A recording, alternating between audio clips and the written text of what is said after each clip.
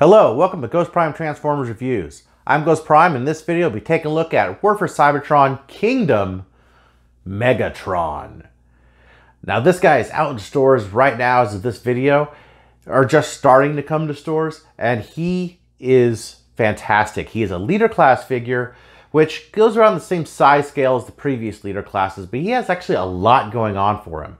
He's done up in these beautiful colors. He's got some amazing face sculpt just sculpted detail in general. There are a couple little weird things I think on mine that I wish maybe not would like to change, but you know, as pretty much everything, he's not perfect, but he's pretty damn close.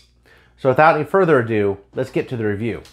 All right, and first things first, we'll take a look at the packaging. It is a very large box. You see this has a small window, has a wonderful Wonderful rendering of Megatron on the side and on the front. Surprisingly, I think the toy looks better than this. It's one of those rare instances I actually like the toy better than this, the side rendering here. Uh, that is really, really cool. And see the Earthrise on this side. Of course, the product shot on the back. This actually makes him a lot more pink than he looks actually in real life. On the top, we have, similar to the Decepticon logo, we have a that looks like a Predacon logo there. And some of the little, you know, the disc pieces. Of course, inside the package, you don't have any of these uh, plastic bits. You have this new type of cardboard here. And which we have is a card. And then on the back, it's taped up. I happen to open this up a little bit to slide it out. And in this box, we have you can barely see it with all this light. It's Blackarachnia, and you could peel it off to reveal, I guess, the fate of the character, which has a image of Blackarachnia here with some Cybertronian writing at the bottom. Of course, you do get instructions. Now, my instructions looks like they should be folded here, like the rest of the instructions. Maybe this was misfolded. I don't know if this is just mine, but of course, it doesn't matter. Again, Clear instructions. You got the green and the grays printed on both sides. And of course, the reason we're here, Megatron himself. All right, now that we have the camera centered on this centered on this guy a little better, check him out in robot mode. Give him a little turn here. He does have a bit of a backpack, but I don't mind it too much. Now, these pieces here, this is how they say to go in the instructions. I actually like to put them up like this. In this fashion, I think it, I mean, while it makes it look big, I do think that he looks a little better from the back and on the front. I don't know, miles may vary on that. See if I can get him to stand up. There we go. But he is just looking great. Now, look at see some of this detail on his chest here. If I could get it in focus, there we go. It's got a ton of robotic detail. One of the things that I did kind of get surprised about is all this detail, like all this stuff here, is very angled. Even his his his torso here, instead of being rounded, it, it's a very sharp edge. It has a lot of sharp, very very hard looking edges to him uh, which is different than I'm used to a Megatron, a Beast Wars Megatron. Um, you know, seeing on a Beast Wars Megatron. Now he does have his his tail piece. And this this piece does not come off. It is stuck to his arm. I guess it looks like it might be pin. I'm not really sure. I don't know if there's some way to modify it to get that piece to be removable. I think that would be great if this piece was removable so you could, you know, kind of make, I guess, it would be a parts former at that sort of, at that time. But Either way, it's not too bad. I like it, I like the way it looks. And of course you get his dinosaur head here.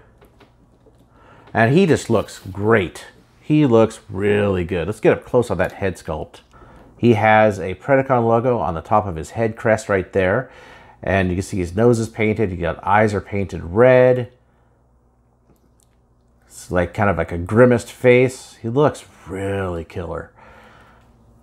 Really like it very much like it. You see all the different, the detail going down into his feet, in his legs, the little pieces, the little guns here on the side of his, on his, on his hips. Just a fantastic looking figure. So before I get to articulation, uh, one thing that I would like to do is do some quick comparisons. Here he is compared with leader class Siege Ultra Magnus. So you can see he is that leader height scale, uh, the new scale they have, which honestly works really well for him. Here he is with Megatron from Earthrise. You see how they kind of go, you know, height together. It'd be really cool to see them fight in the uh, Earthrise, or sorry, Kingdom series. Here he is next to the, I believe this is the 10th anniversary with the new head, but this is basically the original repainted with a new retooled head of the original Megatron from Beast Wars. So you can see the height there. He's a little bit taller, but he's got about the same width, relatively the same size. Again, this is something I think is very cool. Now getting into articulation here, his shoulders, this shoulder can go all the way around. We gotta move the arm out just a tad to get around the backpack. His shoulder can go up this high, that far down. He does have a, uh, I guess a little bit more than 90, about 90 at the elbow. It can also go backwards. That is due to uh, uh, articulation in dino mode. He has the pincher, which is articulated. Now, this is something that's very weird. He has his hand is on a joint, his wrist there. That's all it could do. I'm not really sure why. Maybe you could put it like that, kind of to hold a gun. Maybe that's the idea, because he sort of can. Uh, the other arm similar, but he has a little bit of this movement. Uh, again, probably articulation for dino mode. Again, 360. He has the more than 90 at the elbow. He has a jaw opens like this, about that far. Waist articulation, waist could go 360 degrees. Legs go up that far. Back pretty good. To get the head out of the way so you guys can see it here because it's really not making my camera focus very well. Look that far. Knee, about 90. Now he's got some toe rockers, front, forward, and back, and ankle side to side on either side. Oh, and he does have, uh, I would like to say thigh articulation, but it's not thigh. He's got it at the knee. So a couple things about this guy. One is he is compatible with the blast effect pieces. So you could put, here's a blast effect. If you take the dino head, there is a port on the inside that you could plug the blast effect in and you could get him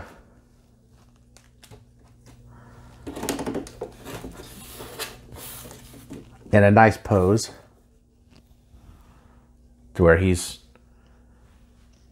firing off at some Maximals, or maybe in this case, Autobots. We will see.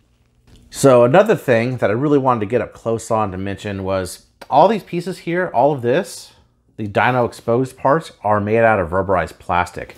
And if you look right here, if I get real close up on it, you could see that there's these, this all piece is a hard plastic and this piece is, is rubberized on the outside.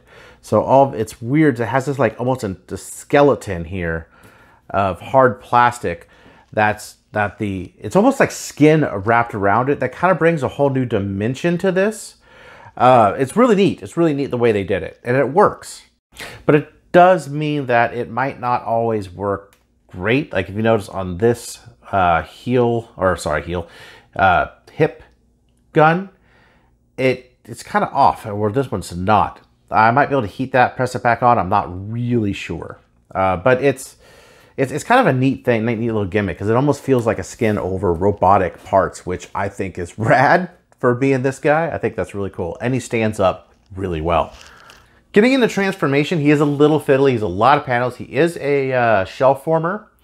So you just kind of got to explode him. So I'm going to try to go through a transformation as quickly as possible here. Okay, so first things first with transformation. We're going to take him. He has waist right here. And to move this out of the way so I get my hands in there. I'm to yank. It's, he stays together really tight. Oh, almost feel like you're gonna break them, but pull out, up, oh, like that, and you could get him right apart. So as you can see in here, it has some clips that actually just peg right into there. He stays super tight. And there's a hinge in there that he's two different hinges. So you get hinges this way and this way. And what I'm going to do now is you take his crotch, split that open, and then take these, oh, these are also very tough, around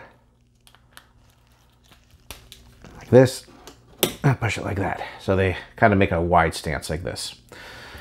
His head, now that you have it up and off here, you could actually stick his head and put that all the way back around and in. So you have this. So there is this little tab right there. And on the side, you'll see a little slot. So what you need to do is kind of line those up. Now you, you kind of see how this is on a hinge and these need to get lined up. It is very difficult for me to do um, on mine. Let's see if I can get that in there. Sometimes I got to fiddle with it for a minute, but I can see if I could just line it up correctly there. Press it in. There we go. You hear that snap? Oh, that was tough. I'm afraid I'm going to break it by doing over too many transformations on this or wear it down because it's super, super tight. Um, I'm going to take his little guns for his thighs there, move them around on both sides. You can see there's a like a hexagonal peg there. And don't pull it up by this. This is soft rubber. Pull it up by the the gun pieces and it just sort of it's loose so it just kind of falls around and then tightens real tight in there.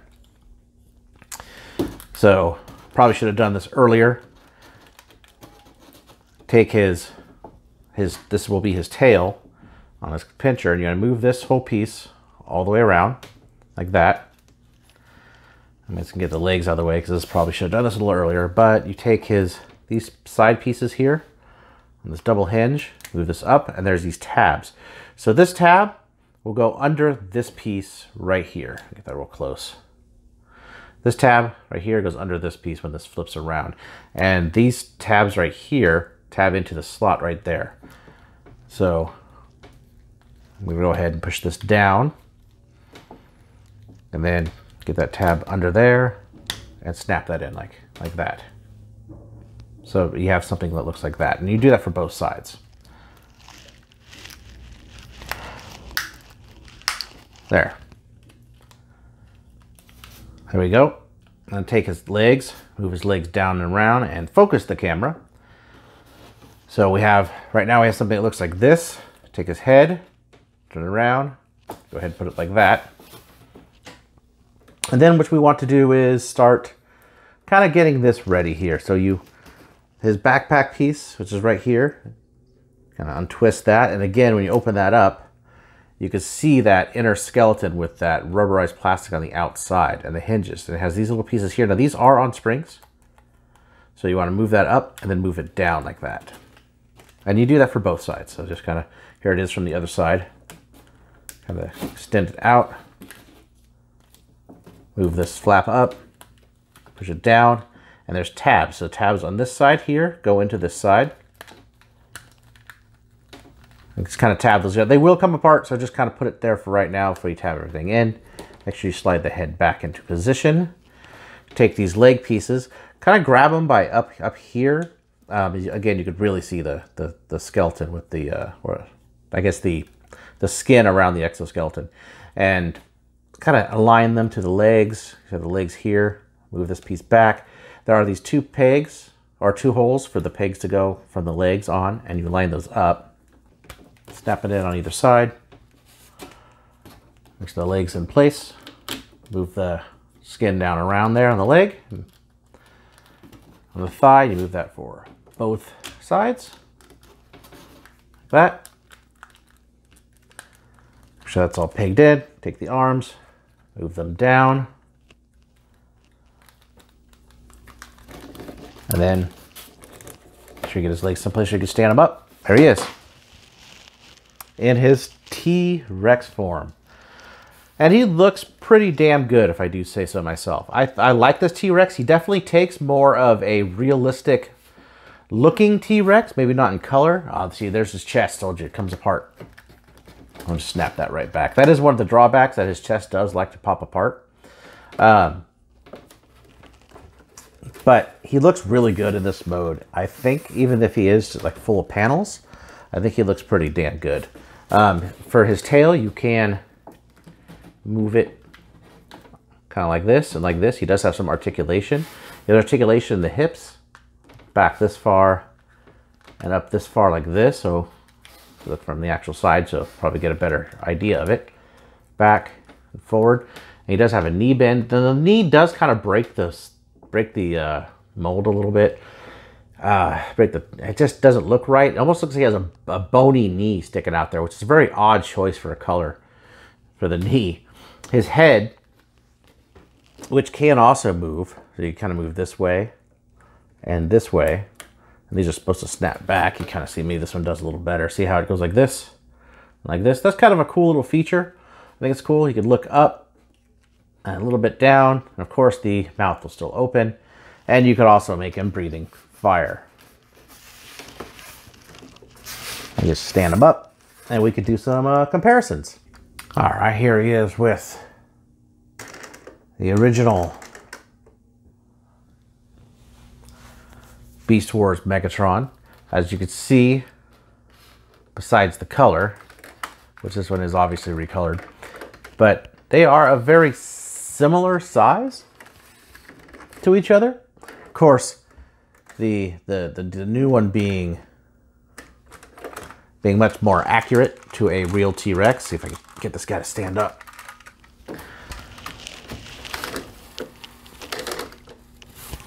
You can see kind of how they look.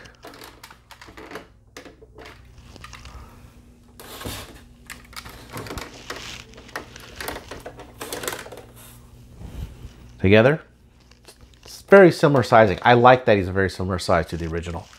And in sort of a, a different sort of type of comparison, here's how tall he is in Dino mode against Megatron from Earthrise.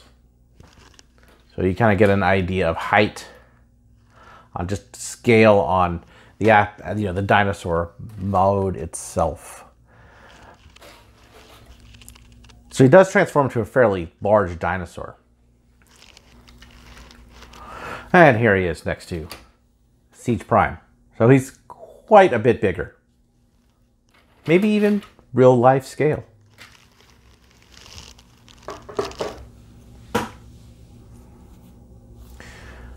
So one last quick look before our final thoughts on this guy. Just a very cool figure. Love the eyes. Check out those eyes and that face sculpt. All the detail work on the skin looks really cool. A couple little problems where like the, the chest doesn't like to stay in all the way. This is the arm kind of droops down a little bit as you can see. Um, overall, though, I think it's very cool. Uh, very cool indeed. Yes. So that was a look at Kingdom Megatron from the War for Cybertron line. This guy has a lot going on for him. He is really cool uh, to the point to where I, I mean, I don't have the masterpiece, but this is close.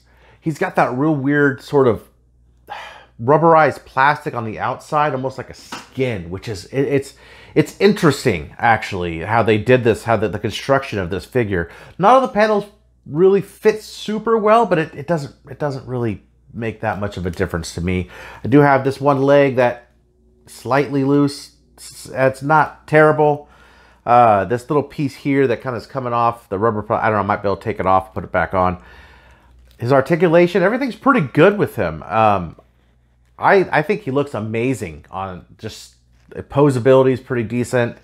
Overall, I could highly recommend this if you at all like Beast Wars or even Megatrons. I collect Megatrons, so this one is definitely going up there with the Megatrons. Oh, I don't know. They are killing it with this line so far. So if you like this video, hit that thumbs up button. Hit the thumbs down vote button if you have to. Subscribe. I'll see you guys next time. Seriously though, subscribe and ring the goddamn bell.